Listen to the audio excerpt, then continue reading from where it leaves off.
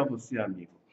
Passadas as eleições no Tocantins, as atenções do funcionalismo agora se voltam para a possibilidade real do governo demitir servidores comissionados. O governo do estado tem por volta de 20 mil servidores contratados sem concurso e está desenquadrado na lei de responsabilidade fiscal e naquela relação de governos que não tem capacidade de pagamento do Tesouro Nacional, ou seja, o estado do Tocantins está enquadrado na letra C,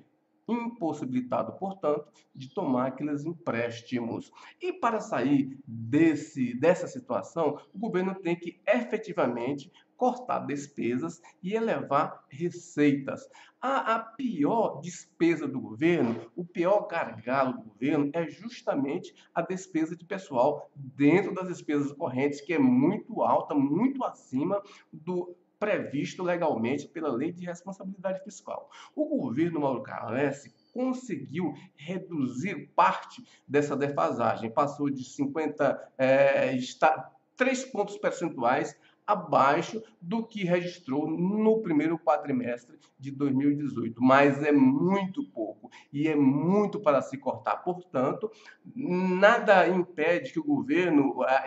é, corte, demita servidores comissionados para ajustar essa situação e conseguir viabilizar junto ao governo federal os empréstimos de 729 milhões da Caixa Econômica Federal e do Banco do Brasil que estão parados até hoje justamente por força dessa situação de falta de capacidade de pagamento do governo do estado que atualmente não faz poupança nem das prestações do valor das prestações que ele precisa ter em caixa para é, repor o valor que é descontado das prestações no Fundo de Participação dos Estados. Ou seja, é plausível e perfeitamente possível que o governo, passadas as eleições, demita servidores comissionados para ajustar-se nessa situação do Tesouro Nacional, tendo em vista que, segundo o próprio governo, ele necessita desses recursos de 729 milhões para fazer investimentos, coisa que hoje ele faz por volta de 1,5%